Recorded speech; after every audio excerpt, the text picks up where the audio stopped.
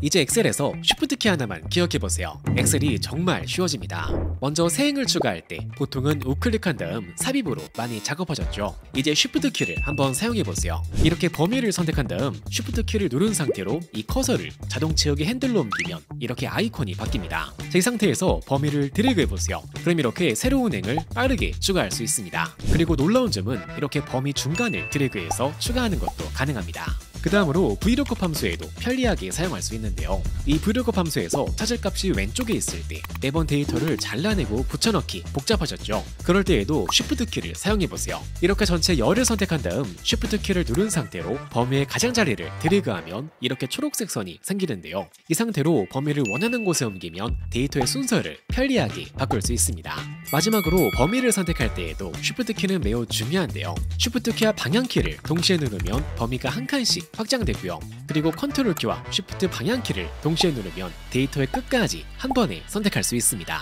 더 많은 Shift 단축 키는 영상 고정 댓글에 정리했으니 참고해 주시고요. 추가로 궁금한 엑셀 팁은 영상 댓글로 남겨주세요. 다음 영상으로 찾아뵙겠습니다.